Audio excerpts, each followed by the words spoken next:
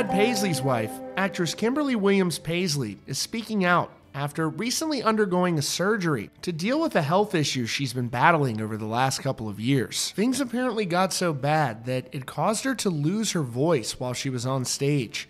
During her annual Alzheimer's fundraiser, which she holds in Nashville a couple of years ago, she released this statement after undergoing the procedure. She wrote, I've been going through a thing.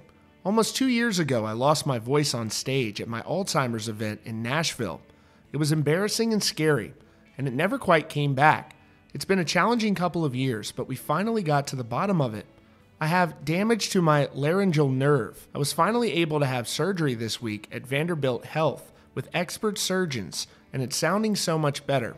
I have a badass scar that's smiling at me across my neck. I took for granted my ability to use my voice before for my career, for a good cause, for a timely joke, for self expression. Instead, I've been the quietest in the room. I've felt meek. I've been through shame and self loathing, all kinds of training, breathing techniques and braces, and healing and laughing and crying and explaining. I've met many amazing helpers along the way, and I'm feeling so grateful. I was awake for the three hour laryngoplasty to plump up my paralyzed vocal cord so it hits the other one. I watched a lot of it on a video screen above my head as it happened, and all I can say is modern medicine is miraculous.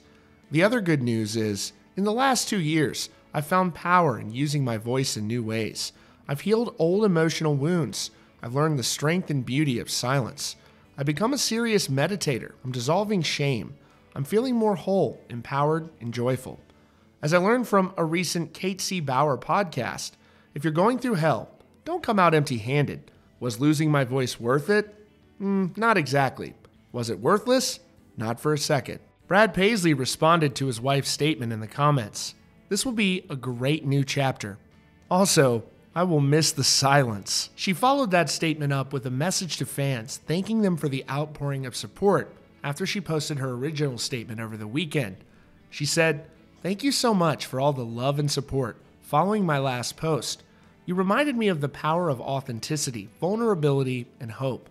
I'm feeling validated and seen and ever more grateful. I read and responded to as many comments as I could, and I'm still going. Thank you. I see you too. Recovery is on track and I'm feeling really good. With much love and gratitude, Kim. It's great to hear her recovery is going well and we're wishing her a continued speedy recovery. That's your latest update from CountryCast. Be sure to subscribe with notifications on for the latest news and updates.